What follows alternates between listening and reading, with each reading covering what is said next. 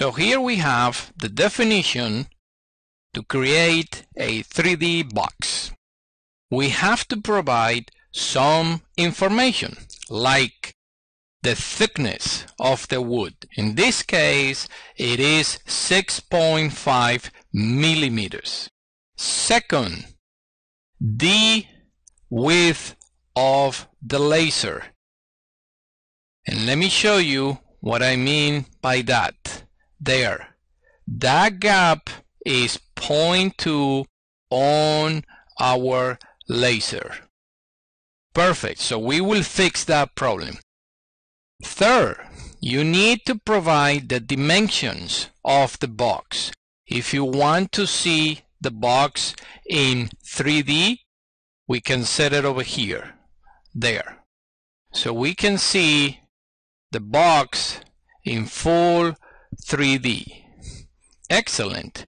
Also, I can set the bottom of the box flat. Look at this. Cool. If I set it to there, I will close the whole box. In this case, I just want to cut one, two, three, four, five faces. Let me go back to 2D. Perfect. And last, notice that you can set the number the number of intersections in each part. So if I set this one, let's say to 5 or 3, notice 1, 2, and 3.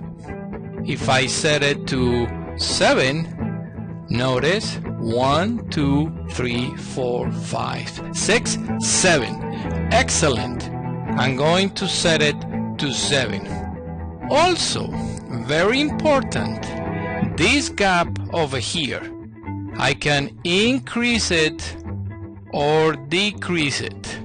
It's up to you. So you have plenty of options to choose from. Alright?